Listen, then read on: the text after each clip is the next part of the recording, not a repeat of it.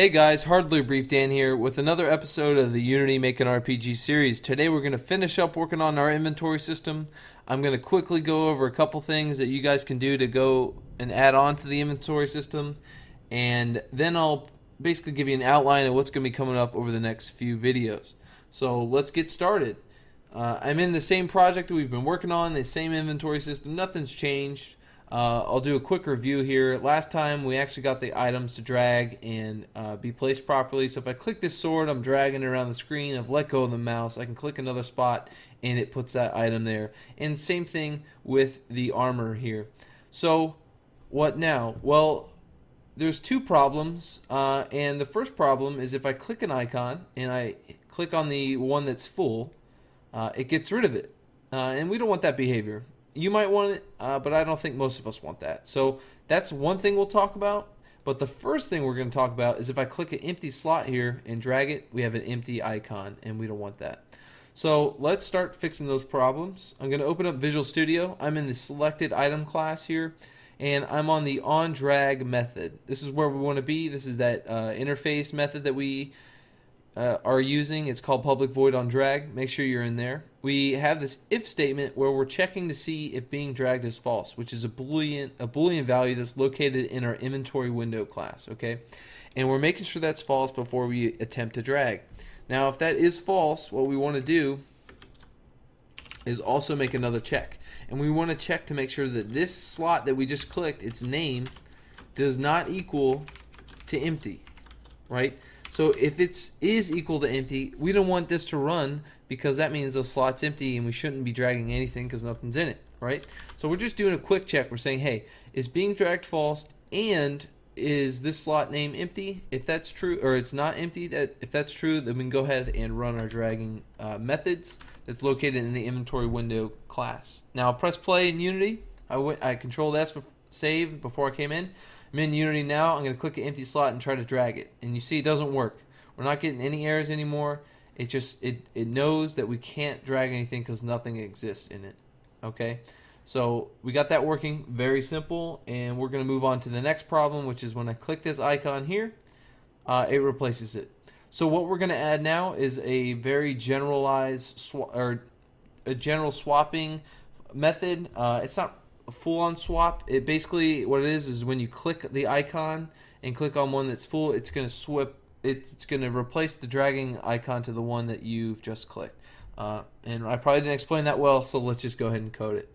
Uh, so what we're going to do first is in our inventory window class, we're actually going to add a new public method. Uh, so in our inventory window class, below this return item icon method, we're going to create a public, nope, not a partial, a public uh, void, and we're going to call this swap item. And the first thing we're going to create is a member, a variable here that we can use only in this method. So it's going to be of type base item, and we're going to call this swap item. Okay, and we're going to say player inventory, and we're going to do a parse. So we're going to do int dot parse and you might be asking, well, what are we parsing? Well, we're going to be parsing a game object, and that game object is going to be the slot that we click on. So we actually need to go ahead and pass in a game object, and we'll call it slot. So this method will be called when we click on an, an item, an item slot, and that method will pass in the slot that we clicked, right? So now we need to do slot in the item, or in the int.parse, we need to do slot.name. So when we click when we pass the slot in, it's going to send its name to this parse where we'll get the item and we'll store it in this uh, variable called swap item.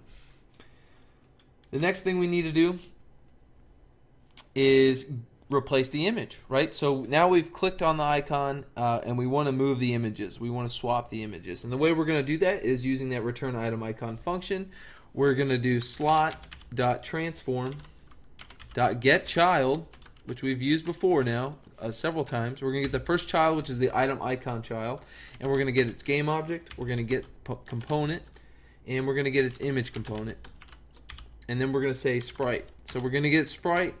All that code just gets the sprite we need, and we're going to set it equal to our return item icon, and this is going to be the item drag being dragged. So we're dragging an item. We click on an item that, or a slot that's occupied. We want to swap the sprites. So the sprite that needs to be in that place is the item being dragged sprite. So that's how we're gonna that's how we're gonna get that. Uh, now we're going to do now we need to change the name of the slot. So the slot name that we just clicked on needs to be the same slot name that we stored in a variable up here. Uh, and hopefully this hopefully you kind of understand what I'm doing, but I'll try to explain it uh, when it's finished or as we go on. So basically, we're going to get this game object slot's name that we just clicked on, and we're going to change its name to the name of the item being dragged, which we stored in the slot name variable uh, when we begin when we begin dragging, and I'll show you that now.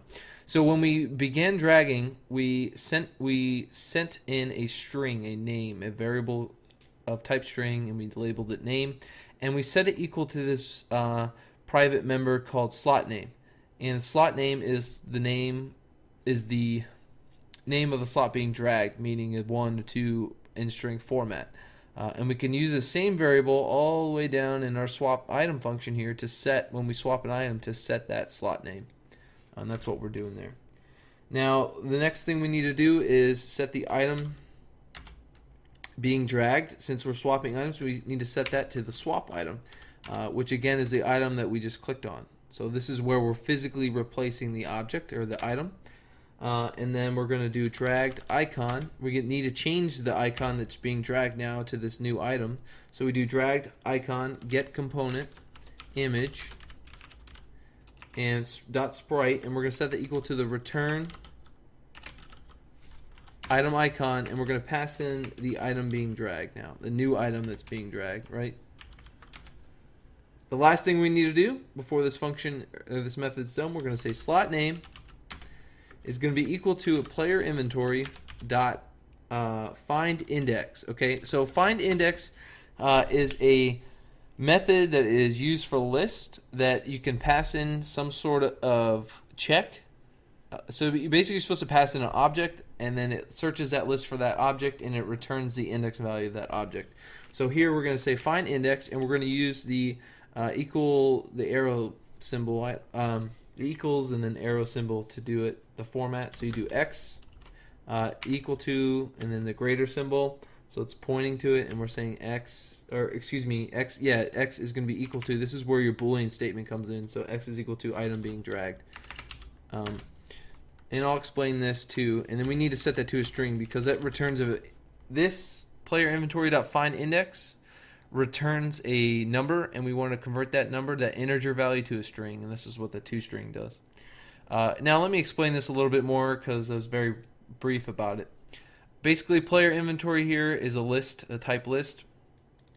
We're calling the method find index, uh, which is like an extension method of player inventory of the type.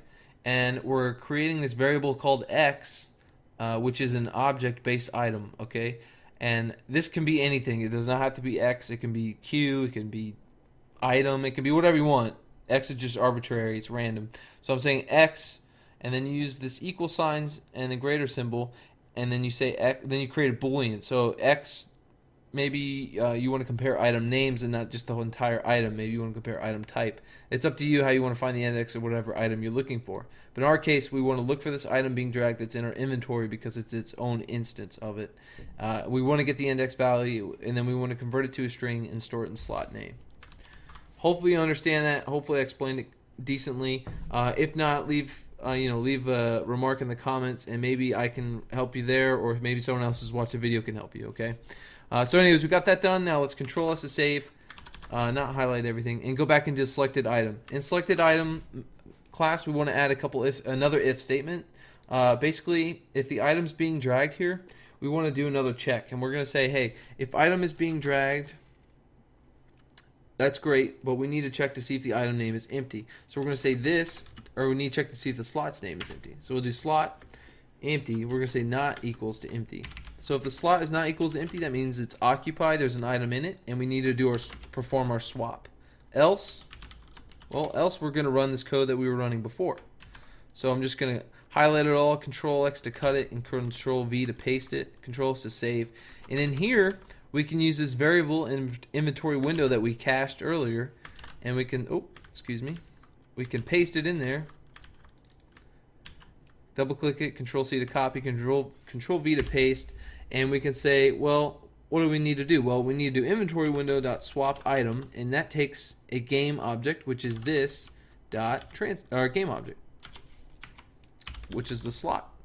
Controls to save. Let's hope to God that we don't have any ans- or errors, any exceptions. It looks like we don't. Looks like we're doing pretty well. So let's go ahead and press play and see how our handiwork, handiwork or craft has worked. So when I drag an item, that still works, right? Or drag an empty slot, nothing happens. When I click this icon now, I have the equipment with me. I'm going to click this sword and it swapped it, right? So now we just swapped the items. And you can kind of tell over here, we've changed the name to 1 and 0. Let me press play again restart it all, and we'll look at the name. So item 29 is the sword here, and it's also in position 1. I click this and drag it. And you can see here in the hierarchy it's gone, right? Because we're storing it on our dragging icon. Now I'm going to click the armor and you're going to see the 0 change to 1. The sword, remember, is item 29 and it's going to be stored here. So I click it and you see item 29, 1 is replaced and we're looking at the correct items. Now, if you don't fully believe me, you can do a debug statement and you can check out and see the item type and see that we're actually getting the correct item. Uh, but just remember, look at the item name, look at the information that's being provided for you, and you can tell that the swap is actually happening.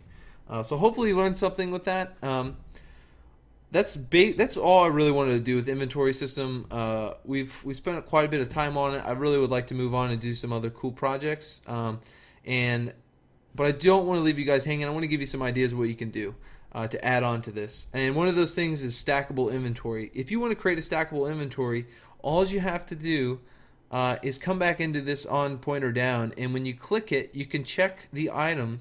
Maybe you have a boolean in your base item that is stackable. If that's true, and you already have that item there, you can just add on to it, and you can add like a little number value here that shows that incrementing as you stack items. Uh, it's all about logic and if statements and and uh, making sure something exists and doesn't exist, and if that does exist, hey, can can you stack this item? If you can stack this item, then stack it, increase in number, which is just you know a GUI object. It's it's not super hard, and hopefully we've gone through most of the more difficult things here that you guys can really add on to your to your own projects. Uh, but besides that, uh, besides you know maybe doing stacking inventory, uh, maybe uh, the same thing. Maybe you want to split the stack stacked inventory, you can add some sort of other method where you on click with a shift. You know, so you have an on pointer down with a shift click in there. Uh, if you have that, then you can split the inventory. I think that's how World of Warcraft does it.